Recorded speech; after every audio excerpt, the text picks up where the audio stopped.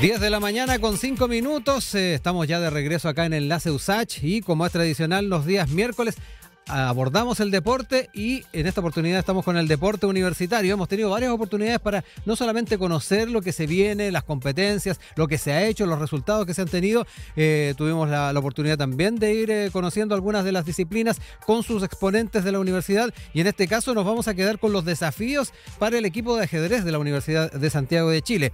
Equipo que viene con eh, varios galardones. El año 2023, sin ir más lejos, el equipo de la universidad se quedó con la medalla de oro en el campeonato de ajedrez de la FENAUDE, eh, que es el torneo nacional. ¿ah? Eh, en ese sentido, es importante lo que se puede ir proyectando para este año 2024, donde además de las competencias nacionales habrá participación en el Panamericano Universitario FISU América, además de otros torneos internacionales. Es lo que queremos conversar hoy día junto al entrenador del equipo, Marcelo Llorens, y también con el integrante de, esta, de este plantel, Alexis Aravena. Los saludamos, gracias por acompañarnos y bienvenidos acá en la CEUSACH. ¿Cómo están? Hola, gracias. gracias. por la invitación.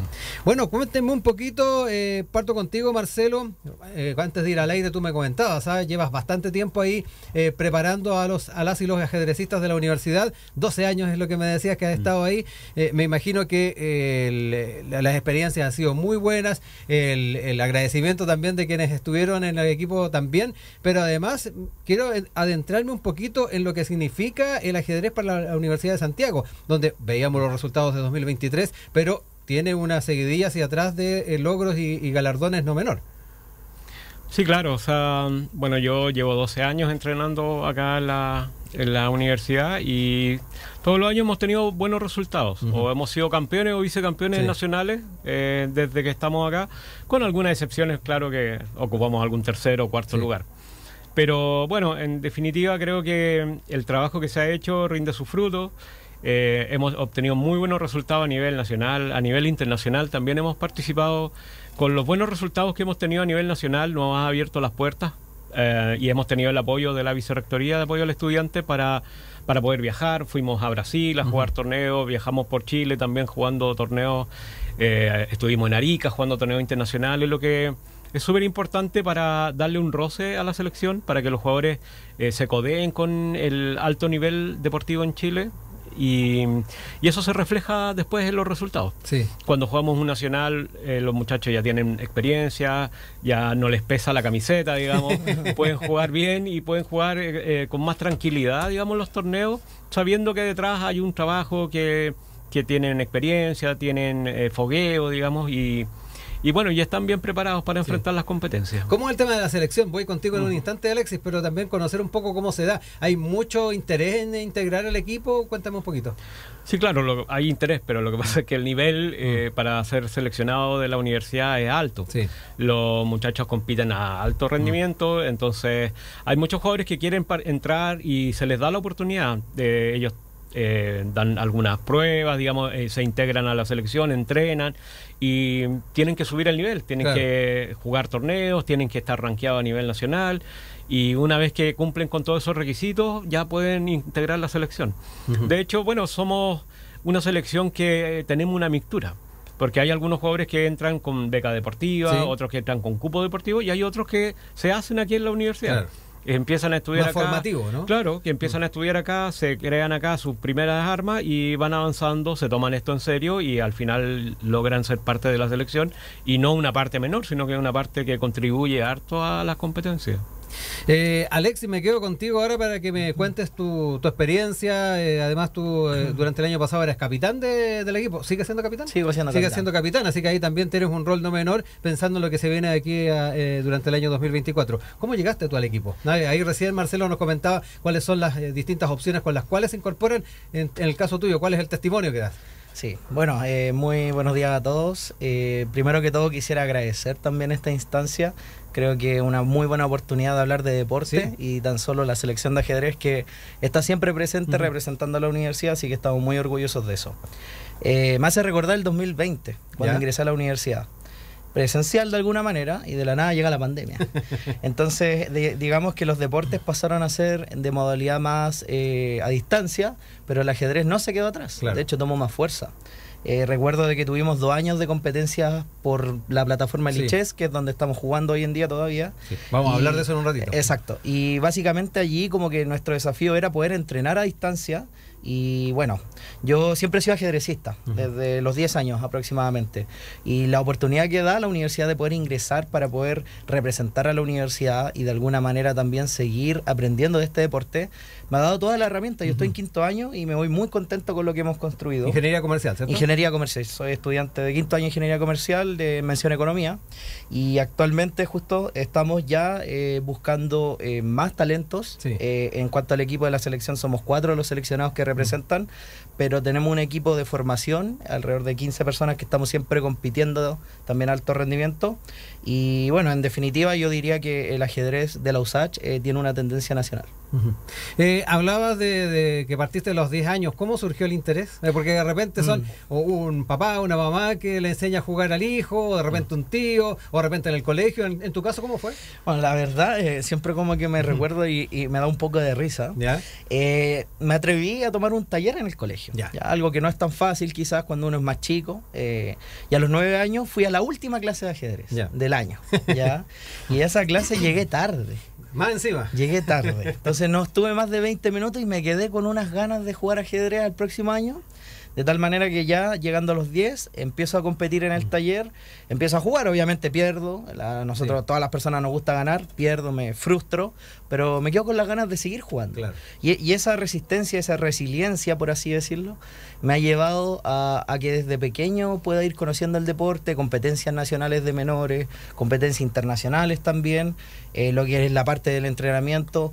La verdad el ajedrez se constituye eh, no tan solo del estudio, nosotros Sí. acá en la selección siempre estamos estudiando, tenemos los recursos, nos cuesta un poco también, pero las competencias es lo que un- uno puede mejorar. Entonces desde pequeño he estado jugando, compitiendo y eso de alguna manera ha reflejado también eh, como una inspiración a los Sí. demás porque al final todos estamos jugando. Eso. Quiero hacer un poquito de pedagogía. ¿ah? La gran mayoría de las personas conocen el tablero, conocen las piezas, el movimiento, cómo se comen una pieza a la otra, pero en la competencia hay relojes, ¿ah? hay varios elementos que no están tal vez tan familiarizados con la gente. Expliquemos un poquito cómo funciona, Marcelo, para Claro. también Mm. tener claridad aquellos que nos están viendo y nos están escuchando. Sí, claro. Lo que pasa es que el ajedrez, eh, por sus características propias, eh, nos ayuda al crecimiento pedagógico, por ejemplo, la concentración, Sí. ¿no es cierto?, la resolución de problemas. Eh, hay hay muchos, eh, muchas características que posee el ajedrez que ayudan a la educación. En cuanto a la competencia, bueno, eh, jugar con reloj es una obligación. Todas las competencias deben ser con reloj por una cuestión muy simple. Si yo estoy jugando una partida y no quiero jugar, no hay cómo obligarme Claro. a jugar. En cambio, el- claro, yo no quiero jugar, estoy perdido, me van a ganar en una movida, entonces no juego nomás. Pero entonces el reloj te obliga a jugar, porque si no juegas, pierdes por tiempo. Entonces es un Hay requisito un tiempo que se va eh, acortando, Acortando, a medida claro. que, que Sí, sí, sí. Un reloj de ajedrez en realidad son dos relojes. Ya. Uno para la blanca y uno para las negras. Perfecto. Cuando un reloj corre, el otro está detenido. Entonces es un reloj que va eh, se va acabando el tiempo, Claro. ¿no es Pone cierto? presión al y le pone presión al rival, claro. Las competencias normales que, que nosotros hacemos en las competencias nacionales es harto tiempo, en teoría, Sí. pero en la práctica es muy poco. Sí. Tiene una hora y media cada jugador y cada vez que aprieta el reloj, el reloj le agrega dos segundos de incremento o 30 segundos de incremento. Ujú. Entonces, parecía que es mucho tiempo, pero cuando tú estás sentado pensando, el tiempo se te pasa volando. Sí. Y esa hora y media que tenés, de repente te das cuenta de que quedan 10 minutos en el Mm. reloj. Entonces eso eh, genera mucha presión en los jugadores. Y bueno, hay gente que, que piensa que el ajedrez, como, hacer, como es un deporte mental, no implica actividad física, pero está demostrado que los jugadores en un campeonato pierden entre 3 a 5 kilos después de, de jugar un torneo de ajedrez, porque claro, el estrés, estar sentado, estar apretado Sí. todo el rato, te genera un desgaste físico más o menos importante. Y los chicos, cuando juegan torneos, juegan aproximadamente 10 horas diarias. Wow. Entonces, y, en, y eso sin contar los entrenamientos, porque entre ronda y ronda, entre que juegan una partida y otra, hay que prepararse. Sí. Hay que ver que juega el rival, hay que ver, hay que tomar alguna, alguna eh, recomendaciones que da el, el entrenador, el profesor, para jugar alguna partida en específico. Y Sí. entonces, si sumamos eso, ya estamos jugando más de 12 horas en un día. Claro. Oye, Alexis, ahí el, eh, el entrenador nos contaba de, de, cómo se van las dinámicas de preparación. Tú también lo mencionabas. Uh -huh. eh, ¿Esto cómo se desarrolla? Ah, eh, ¿Se van eh, enfrentando entre ustedes? Eh, ¿También se prueban algunas partidas? ¿De repente se conocen los mates? ¿De repente uno ojea un manual de ajedrez y se encuentra con tipos de mate? Ah, cuéntame un poquito cómo también funcionan. ¿Hay estrategias también que se establecen como equipo? Sí, bueno, más adelante vamos a estar hablando un poco de los sí, horarios de la claro. sala de ajedrez, pero los días jueves nos reunimos nosotros. Ya. Ese es como el día sagrado que tenemos que asistir. Eh, y la idea es que nosotros podamos tener dos formas de entrenar. La primera de manera presencial, uh -huh. en la que se va comentando un poco como del mundo del ajedrez. Sí. Por ejemplo, actualmente se está jugando el campeonato, la Copa del Mundo del ajedrez. Exacto. Entonces hay partidas o novedades de los maestros más fuertes que tenemos que irlas viendo, uh -huh. nos obligan a verlas.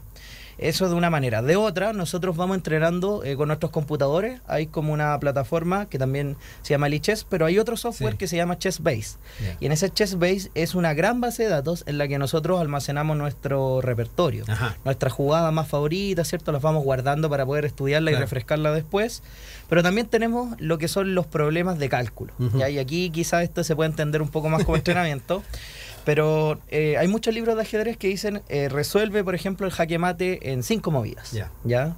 O si queremos estudiar, no sé, por la estrategia del medio juego, eh, bueno, ¿cuáles son aquí las casillas críticas? Entonces, eh, aparte como de, de, de, encontrar como el cálculo, también hay una cuota de razonamiento que uh -huh. hay que estudiar. Y ahí entra en juego lo que es la estrategia y la táctica. Uh -huh. Bien interesante, ¿eh? Bueno, aparte de eso, hay una hay una un entrenamiento puntual que es para las competencias. Uh -huh. Porque nosotros sabemos con quién nos vamos a enfrentar. Claro. Tenemos los jugadores. y ya y, saben cuál es el palmarés sí. que traen. Y exactamente, uh -huh. nosotros nos dedicamos a eso. O sea, nosotros estudiamos al jugador desde que comenzó a jugar ajedrez adelante. Le vemos toda la historia, de verdad. Mm, ¿Sí? Le conocemos toda la vida. Yeah. Sabemos que al principio jugaba esto, después cambió esto otro y ahora yeah. juega esto otro. Y nosotros tratamos de encontrar la receta para ganarle. Uh -huh. Y ellos hacen lo mismo con nosotros. Eh, ellos también nos sí, estudian y nos ven. Todo. Exactamente. Entonces es una guerra psicológica súper fuerte porque tú te sientas a jugar y el tipo te hace, por ejemplo, una apertura que no ha hecho nunca te deja. Claro, tú dices, wow, aquí, aquí hay algo raro. Sí. Y lo mismo hacemos nosotros. O sea, él, él, piensa que nosotros vamos a jugar esto, pero le cambiamos y hacemos otra cosa. Eso en el ajedrez se llama paqueteo. Yeah. El paqueteo es la preparación puntual contra un jugador. Yeah. Mira, y, que... y, eso es muy importante. Sí. Cuando nos enfrentamos contra las selecciones, por ejemplo, la Universidad de Chile, la Universidad Católica, ese trabajo es el que marca la diferencia. Así es. Ahí, Ahí conociendo también, ventaja. conociendo terminología que mm. tal vez la gran mayoría de las personas no conocían y más aún en lo que tiene que ver con, con las estrategias. Quiero recordarles que estamos con Marcelo Llorens, entrenador del equipo de ajedrez de la USACH, también con Alexis Aravena, que es capitán de este equipo. Hablemos de lo que se viene en este año. Ah, ya yo mencionaba algunas cosas eh, que tienen que ver con la competencia la FENAUDE que se viene más o menos a fines de año, las competencias de, de carácter eh, metropolitano, regionales, pero además hay una agenda internacional, perdón, no menor. ¿ah? Tenemos, ya yo les mencionaba, a este Panamericano Universitario eh, FISUamérica, entiendo que también hay en estos momentos en eh, desarrollo una competencia, el FISUamérica Chess. Cuéntenme un poquito cómo, qué es lo que se viene para este año 2024, Marcelo Alexis. Sí, bueno, actualmente nos encontramos jugando eh, un Panamericano Universitario, uh -huh. que es de modalidad online, por yeah. la plataforma de Lichess, el cual comenzamos jugando el día miércoles, tanto en dos modalidades. Individual, uh -huh. separado entre damas y varones, y por otro lado una competencia por equipos. Perfecto. ¿ya? Eh, todos los días nos reunimos a las 7 de la tarde, hora chilena, eh, a competir eh, a un ritmo muy rápido. De hecho, ya hablamos un poco como sí. que había un reloj, ¿cierto? Que había tiempo. Acá por internet son ritmos muy rápidos. 3 minutos yeah. con 0 segundos de incremento y 5 minutos con 0 segundos de incremento. Wow. O sea, una partida dura 6 minutos sí. máximo yeah. o 10 minutos máximo. Yeah. Nada o sea, y nada más. Exacto. Ah, correcto, exacto. Mm. Y se le conoce como ritmo blitz. Uh -huh.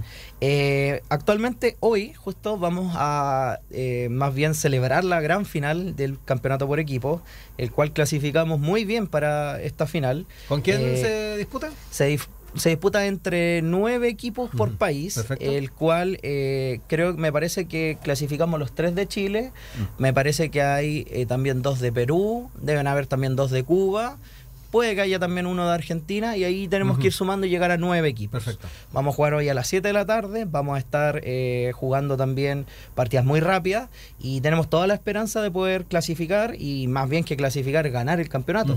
El año pasado nosotros en esta misma instancia quedamos terceros. Ya. Entonces nuestra a aspiración... solo dos puntos del primero. A solo, y de hecho liderando todo el campeonato los Ya. primeros 40 minutos en ese momento. Entonces venimos con una energía como de, de, De revancha. De, revancha, Claro, exacto. claro, estuvimos a punto, sí, de verdad. En, en el- en los últimos 10 minutos del campeonato se nos escapó.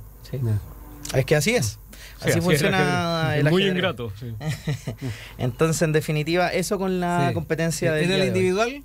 En el individual eh, clasificó Francisca, Ya. que es nuestra campeona nacional sub-20 de, de Chile, que también es estudiante de psicología. Francisca Sánchez. Francisca psicología. Sánchez, total, ella, ella. Y nuestra eh, compañera ahí no- nos representó eh, el día de ayer en la final, eh, quedando en la ubicación eh, Uf, tiene que ver que a octava. Ya. octava a nivel de mm, Panamérica, Sí. básicamente. Entonces, Claro. estamos súper orgullosos de eso, pero el campeonato para nosotros aún no termina. El campeonato más importante se juega hoy día. Ya. Hoy, como, como equipo que representamos a Chile, Sí. obviamente somos de la USACH, pero en este caso llevamos el nombre de Chile y tenemos toda la aspiración a ganar. Ujú. Eh, sabemos que hay otras instancias. eh, ¿Para qué también se están preparando? Ah, yo mencionaba las nacionales, eh, ¿qué otras instancias internacionales? Porque además, eh, a nivel panamericano también hay otra competencia que en este caso es presencial, ¿no? Sí, claro. O sea, como el año anterior, el 2023, eh, fuimos campeones nacionales. O sea, nos ganamos el torneo FENAU de delante de Sí. todas las otras universidades. Eh, nos ganamos el derecho a participar en el torneo panamericano FISU, eh, que va a ser en Colombia. Ajá. Eh, bueno, eh, igual es un viaje importante, no, Sí. es, no es tan barato viajar y estar varios días allá compitiendo, alojamientos, comidas y traslados. Esperamos que la universidad nos pueda apoyar, esperamos que, que se pueda materializar, que estén los recursos para poder viajar, eh, junto con otras disciplinas que también fueron campeones nacionales. Creo Claro. que alterofilia y judo también clasificaron Van a ese mismo y torneo tienen panamericano. claro y tienen derecho a ir al mismo torneo eh, universitario panamericano y bueno sería súper importante porque es un incentivo o sea qué jugador no quiere eh, viajar representando a su país Sí. y en una competencia tan fuerte digamos. En tu caso, Alexis, ¿cómo, cómo ves ese, ese desafío? Bueno, la verdad, como también eh, comentar un poco como de la motivación, nosotros eh, es muy importante el Nacional FENAUDE, ya, y que el cual ganamos y estamos muy orgullosos del año pasado. Pero ¿qué motivación hay de ganar? De poder llegar a jugar Claro. esta instancia eh, universitaria más como internacional de alguna manera. eh, para el equipo como tal, como capitán, también nos pone como una, un desafío un desafío de poder ir entrenando durante este año a una modalidad lenta porque se juega una hora y media. ¿Ya? Entonces tenemos que buscar campeonatos de ese estilo. De otra manera vamos a estar enfrentándonos versus los mejores eh, jugadores universitarios de cada país. Sí. Eso significa que tenemos que entrenar aún más de lo que ya hacemos. Entonces eh, el equipo en cierto punto está comprometido, eh, tiene las ganas, estamos buscando competencia y tenemos toda la fe de, de llegar allí. Entonces eso, aparte de ponernos una meta alta de, de ir a esa instancia, eh, eso también va a traer el beneficio de que quizás el mismo nacional que ya ganamos lo podamos rendir aún mejor. Claro. O estas mismas competencias online tengamos más motivación todavía. Entonces esto fortalece un poco al ajedrez, fortalece un poco al equipo y también fortalece un poco al llamado como a la comunidad de acercarse al ajedrez. Porque Sí, que- yo creo eso que es muy importante es que muy- puedan aprovechar también los micrófonos de, de la radio para, para poder invitar. ¿Ah? Eh, porque puede que tengamos algún talento dando vuelta por acá por el campus y que efectivamente si encuentra la información puede llegar. Así es. Sí, claro. O sea, como, como bien decía Alexis, cuando uno tiene triunfo, cuando se hace visible, y por eso les volvemos a dar las gracias por invitarnos acá, porque los deportes chicos, entre Sí. comillas y paréntesis, que no somos tan visibles para la comunidad, estas oportunidades no las, no las desaprovechamos nunca, porque hablar de nosotros, hablar de lo que hacemos, hablar de los logros que hemos tenido es como súper importante. Visibilizar Sí. la disciplina es fundamental. Y mm, cuando aparecemos en un programa tan importante como en la Radio Sach, eh, nos acercamos a la comunidad. Hay mucha gente que llega eh, porque un profesor le contó, porque Claro. un amigo sabía y porque alguien tomó el curso alguna vez y llegó a la sala y bueno, se integran, eh, tratan de ingresar a la selección y tratan de eh, ser un aporte perdón, para la selección y, y para la universidad. Eh, nosotros tenemos actividades, tenemos actividades eh, miércoles, jueves y viernes. Alexis les puede contar de algo que estamos generando ahora hace poco, todos los días viernes en la sala de ajedrez.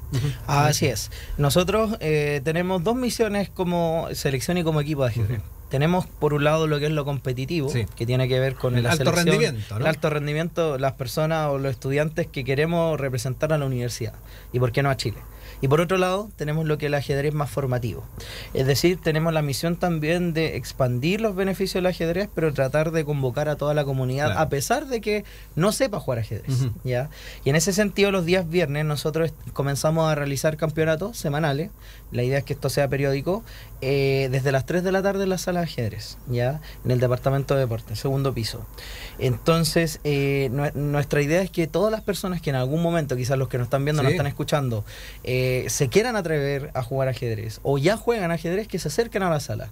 Nosotros en cualquier momento los vamos a recibir, estamos siempre recibiendo, escuchando gente. Eh, tenemos también dos cursos de ah, desarrollo integral en los cuales se pueden tomar el, taller de ajedrez.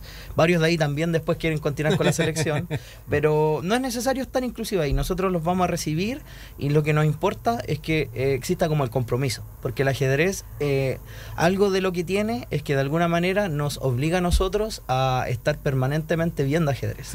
Y entre ajedrecistas nosotros lo entendemos. Pero quizás el que está acercándose por primera vez, que quiere jugar, eh, se va a encariñar y se va a enamorar del ajedrez. ¿Por qué? Porque también es un poco como eh, adictivo el hecho de querer jugar y ganar. Entonces ahí está la invitación, lo esperamos en realidad de miércoles a, viernes, en horario como de las 9 hasta las hasta las 6, y cuarto de la tarde. 6 y un cuarto de la tarde. Específicamente el día viernes desde las 3 vamos a tener campeonato eh, para la comunidad. Perfecto. Eh, antes de cerrar, algo que, me estaba dando vuelta ahora cuando estábamos conversando, cuando hablábamos de los entrenamientos. Eh, ¿Entrenan entre ustedes? ¿No, no se utilizan software? me acordé de, de, Kasparov con Deep Blue cuando le ganó la computadora años atrás. ¿Funcionan también con, con la máquina? ¿Enfrentando a la máquina? O sea, no enfrentando a la máquina. Es que ya no podemos enfrentar a la máquina porque ahora cualquier programa que uno puede bajar en el celular ¿Mm? le gana al campeón del mundo. Ya. de verdad, ya las máquinas nos superaron hace mucho. O sea, una máquina puede calcular un millón de posiciones por segundo y eso escapa a las posibilidades humanas. Pero nosotros no utilizamos esa herramienta. O sea, cuando queremos preparar algo, esto no se ha jugado nunca en el ajedrez, quiero ver si funciona, le preguntamos al motor, ¿funciona? Y el motor a veces nos dice, sí, eh, esto es interesante. A veces nos dice, no, esto es muy malo, no lo juegues porque si lo juegas te van a ganar muy Roja. Exactamente, no, no, no lo hagas. Pero nosotros lo utilizamos de esa forma. Agarramos la tecnología y la aplicamos para ver si nos funciona en lo que nosotros queremos hacer. Pero enfrentarnos a los motores ya es imposible. O sea, te va a ganar siempre. Sí. Alexis, ¿en tu caso? Sí, eh, en, nuestro caso, en realidad, utilizamos la, la herramienta, están para usarla, tenemos que, que, ocuparla. Pero, eh, como dice Marcelo, de alguna manera nosotros tenemos que utilizar la herramienta para ir viendo cuál es la mejor jugada. Entonces uno va profundizando, ya, por ejemplo, no sé, pues hoy día quiero ver hasta la jugada 10 en una variante. ¿ya? Y después al otro día quiero hasta la 15. Entonces uno va adentrando. ¿Qué, ¿Qué, es lo que sirve, o más bien cómo funciona ese entrenamiento? Yo con la computadora estudio y creo mi apertura o qué es lo que quiero jugar. Pero ¿dónde la practico? Entre nosotros presencial. Ponemos la posición y decimos, ya, juguemos entre nosotros. ¿Por qué? Porque la máquina es muy fría. Mm. Eh, y cuando jugamos entre humanos, entre personas, nos damos cuenta que hay sensación en el momento, eso que hablábamos como de la sorpresa, de que me jugó otra cosa. Hay variables psicológicas que influyen en el ajedrez. Entonces no podemos, eh, como de alguna manera, depender de jugar con la máquina, porque la máquina nunca le vamos a ganar tampoco.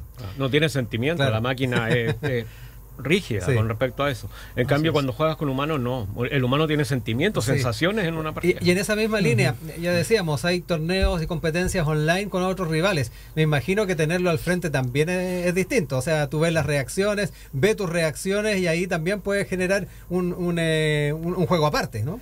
Sí, o sea, en realidad jugar presencial personalmente hablando, para mí nada cambia el ajedrez presencial. Porque aparte de que el ajedrez es como un arte, en lo que vaya a ocurrir en el tablero, también es un espectáculo desde afuera. Sí. Si eh, uno busca, por ejemplo, en YouTube y busca una partida de ajedrez rápida, se va a dar cuenta que están jugando todos muy rápido, las caras, que algunos transpiran. Hay de repente, el ajedrez también es juvenil, con niños. Imagínense los niños cuando tienen una posición ganada y pierden. Sí. ¿Qué significa? Se ponen a llorar. Entonces, eh, totalmente hay un juego de emociones en el tablero también. Sí, no solo a los niños, Sí. ¿eh? a los grandes también. También nos Hay- pasa. hay Sí, algunos- sí. Hay algunos que también tienen no, algunas reacciones el, el dolor de perder una partida es terrible. Yo quiero agradecer a Marcelo Llorens, a Alexis Aravena que nos acompañaron hoy día. Mucho éxito en esta final que van a tener eh, hoy día a las 19 horas. Y bueno, estaremos atentos también para seguir su desempeño durante este año 2024. Y efectivamente, ojalá puedan también llegar allá a Colombia. ¿Mm? Ok, muchas gracias. Nuevamente agradecer la invitación. Hacer visible los deportes pequeños es algo indispensable para Sí. crecer. Exacto, y más aún, además, para los resultados que tiene para el deporte universitario. Mucho éxito. ¿ah? Y nos estamos gracias. encontrando pronto. Muchas gracias. Quisiera Muchas mandar un. Sí, saludo a toda la selección de ajedrez que estamos aquí por ellos también y al Centro Estudiante de Ingeniería Comercial que nos está mirando también y a toda la comunidad que venga por el ajedrez y vamos a estar ahí esperándolos. Sí, vamos a estar ahí haciendo, tirando buena vibra también para todo el equipo. Gracias, ¿ah? que estén muy bien. Un gusto.